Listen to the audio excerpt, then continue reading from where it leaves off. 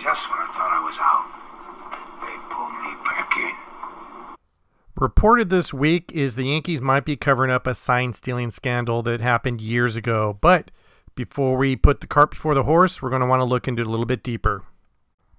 Baseball News Club presents Are the Yankees covering up a sign stealing scandal? Hi, my name is Chris. I'm going to need you to subscribe, follow us, comment, and like the video. Now, before we discuss the accusations against the New York Yankees and sign stealing, we have to give you a little bit of background. The Houston Astros were found guilty of sign stealing. This was a scandal that rocked baseball. They used technological aids to steal signs from opposing teams during the 2017 2018 seasons. Now, it came to light when two reporters wrote an article for The Athletic. They published an article detailing what Houston did. Now, Mike Fiers, who is a pitcher who played for the Astros in 2017, told The Athletic that they used cameras in center field to basically film the opposing team's catchers signals so they can determine what pitches were coming. So the article got the ball rolling. However, our boys, the great Jomboy, they published videos, and a lot of you will remember this.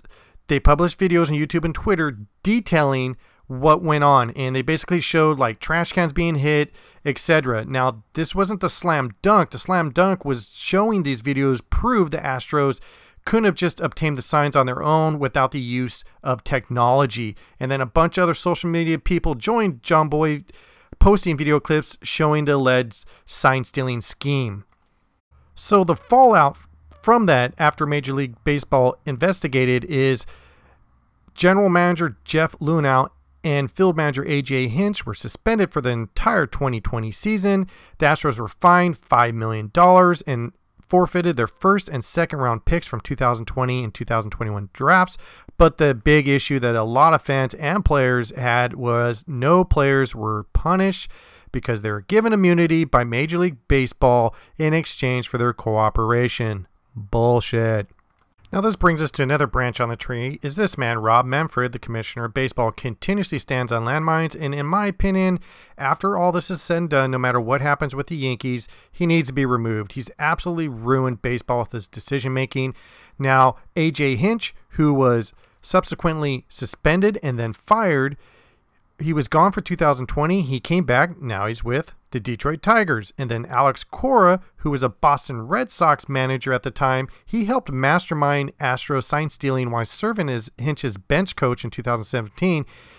Him and Boston mutually parted ways. He was suspended throughout 2020. And then guess what? They hired him back after the suspension. And finally, Carlos Beltran, who was the only Astros player from 2017 who was specifically named in the report who had been hired to manage the New York Mets in November 2019 but parted ways with the team after the results of Major League Baseball's investigation were announced. Then, if you want to go a little bit deeper down the rabbit hole in a weird way, Jack McDowell accused Tony La Russa going back to the 80s of using schemes and the same type of techniques to cheat in baseball back then. But that's another story. So, are you up to date? Now, we thought everything was done and over with, but this week the New York Yankees are making news because a judge ruled that this Friday that a letter sent by MLB Commissioner Rob Manfred to the Yankees addressing the findings of an investigation in 2017 should be unsealed. Now, let me clarify this a little bit more. Back in 2017, the Yankees accused the Boston Red Sox of using Apple Watches to steal signs as a payback the Red Sox turned around and accused the New York Yankees of using the Yes television network to steal signs off of the game's live stream. So, back at ya. So, what happened? The Red Sox admitted using watches to cheat, and MLB commissioner fined them an undisclosed amount. As for the Yankees, there was not enough evidence to conclude they were using the Yes network to cheat. However, they were found to be illegally using the bullpen phone system to relay signs during previous seasons. Oh no, this is starting to get bad. Now, again, in my opinion, this concludes and continuously shows the failures of Rob Manfred and how crappy he is as a commissioner. He writes a letter to the Yankees basically saying, hey, let's have more Father Sundays. No, I'm kidding. He actually wrote a letter, and the letter reportedly details serious sign stealing information. He wrote the letter to VP GM Brian Cashman. Now, to wrap it up into an egg roll into what is really going on today, is when you gamble, you pride yourself on having an edge. You study, you try to understand all the benefits and things you can do to win in gambling. Well, Christopher Olson, who bets using DraftKings, filed a class action lawsuit this year against Major League Baseball, Major League Baseball Advanced Media, the Houston Astros, and the Boston Red Sox.